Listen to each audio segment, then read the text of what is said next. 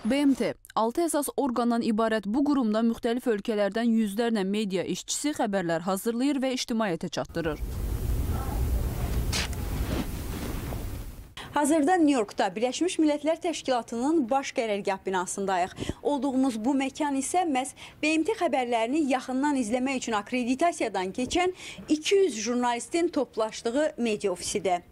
Also the president of uh, the United Nations correspondent. Prezident olduğum Birləşmiş Millətlər Təşkilatı Müxbirlər Assosiasiyası 1948-ci ildə yaranıb. Hazırda bizim dünyanın müxtəlif ölkələrindən 250 üzvümüz var.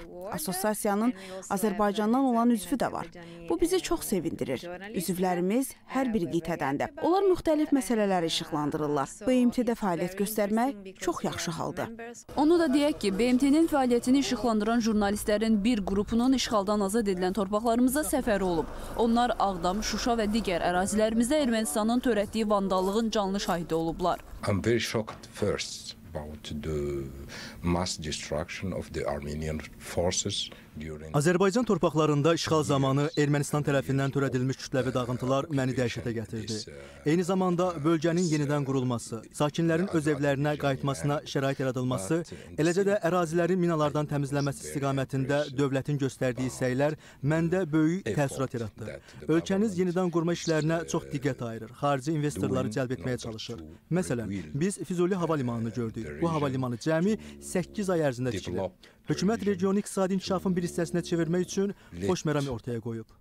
Gördüklərindən heyrətə gələn həmkarlarımız həqiqətləri, faktları daha böyük auditoriyaya çatdırmağa çalışırlar. If we have seen the Azerbaijani position, want to find a peaceful solution and Ermənistanla sülh əldə etmək, Ermənistanın təxribatlarına son qoymaq üçün Azərbaycan hökumətinin xoş niyyətinin şahidi olduq. Ermənistan qoşunları tərəfindən regionda sabitliyi pozmaq üçün eskalasiya müşahidə edirik. Azərbaycanın mövqeyi isə sülhə nail olmaqdan ibarətdir. Qarabağda sülh təkcə Ermənistan və Azərbaycan üçün deyil, bütün region və dünya üçün sülh və sabitlik deməkdir.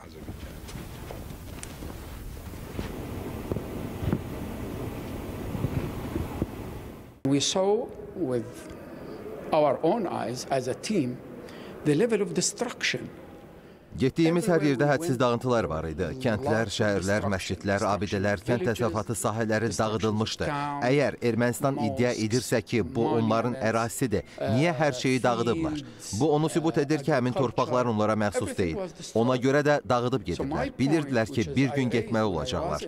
Hər şeyi özüm görmüşəm. Baş verənlər barədə məlumat əldə etmək üçün bir həftə Qarabağın müxtəlif yerlərində olmuşam. Bir sözlə, xarici media mənsubları ilə təmaslar haqq səsimizin dünyaya çatdırılması baxımından olduqca əhəmiyyətlidir. Vüsalə Abbasova, Tofiq Ağayev, Fərda Abbasova, Nuray Mustafa, ASTV xəbər.